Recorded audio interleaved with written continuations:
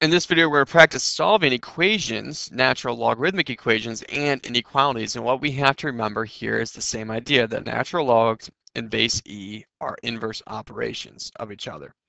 So what I'm going to do first is I'm going to isolate my natural log.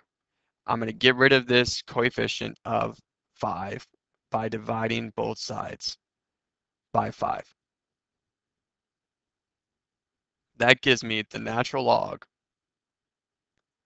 of 6x equals 8 fifths. Now that my natural log is isolated by itself, I can apply the inverse operation, which is to make the left side and the right side the powers of e. So e to the natural log of 6x is equal to e to the 8 fifths. That allows my natural log in e to cancel each other out. And so I get 6x equals e to the 8 fifths power. What I like to do, again, is I always like to solve for the perfect answer, not the decimal approximation, before I go to my calculator. So I'm going to get rid of my coefficient. I'm going to divide both sides by 6 and that gives me the actual answer of x equals e to the 8 fifths power divided by 6. However, at this stage right here, this 6x equals e to the 8 fifths power, if you want, you can, at that point, go to your calculator. And you can type in e to the power of 8 fifths. Now, first you need to know where your e to the power is. Well, remember, e is the inverse of natural log. So I'm going to look at my natural log button, and I look above it in blue, you see e to the x power. So I'm going to hit second natural log. That gives me e to the power. And I'm going to type in 8 divided by 5. And that gives me 4.953.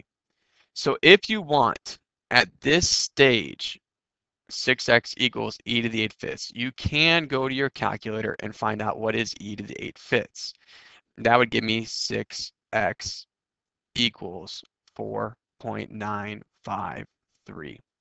And then divide both sides by 6. And that would give me my decimal approximation for it. And so I'm just going to hit divided by 6 and I get 0.8255, which round three decimal places is going to be 0.826. So x equals 0.826. Many students find it easier to find the value of the e to the power before solving like I did in the green here. Other students, some find it easy just to solve for x and then type this in their calculator for it. Either way is acceptable. So let's do a logarithmic inequality involving our natural logs. So I have the natural log of the quantity 2x minus 3 squared is greater than 6. I am going to apply my power rule here. I'm going to take this exponent and I'm going to bring it down to make it my coefficient of my natural log. So I really have 2 times the natural log of 2x minus 3.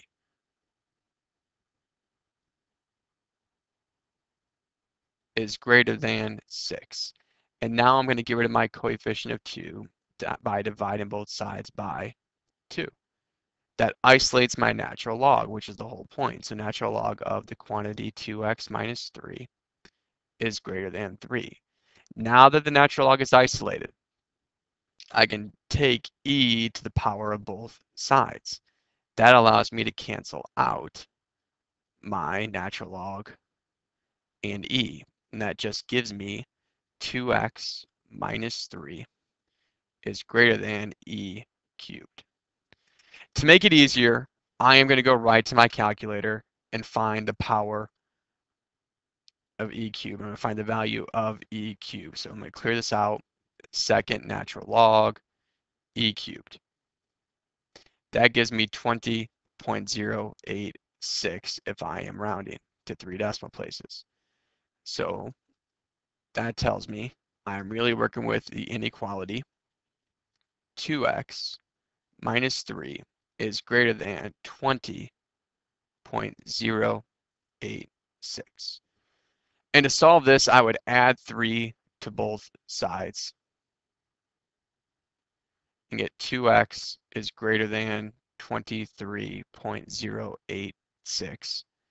And then I would divide both sides by 2 of the inequality. And so I have 23.086 divided by 2. And that gives me 11.543. So x is greater than 11.543.